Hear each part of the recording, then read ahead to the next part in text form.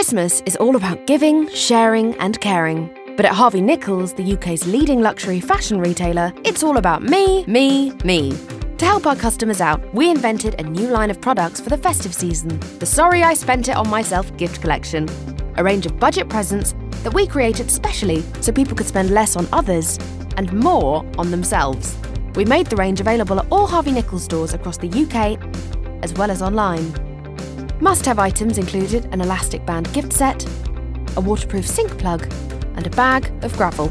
We even produced a Christmas lunch in a tin and boxes of crackers, complete with hats and jokes, but not gifts or bangs, obviously. And for the truly selfish, we created a free downloadable Christmas card.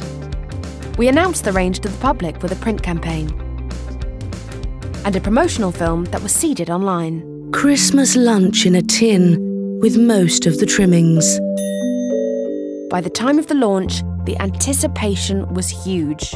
But just to be sure, we released a commercial both online and in cinemas on the day. Elastic bands. Elastic bands from Harvey Nichols, Dad. I do hope you haven't spent all your precious money on me. Naughty boy. Paper clips. What is it?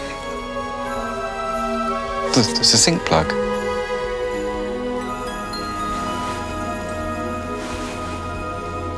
The internet went crazy for it.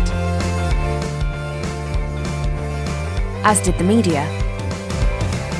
Despite only having a fraction of the budget of their competitors, it was the most controversial Christmas campaign of the year.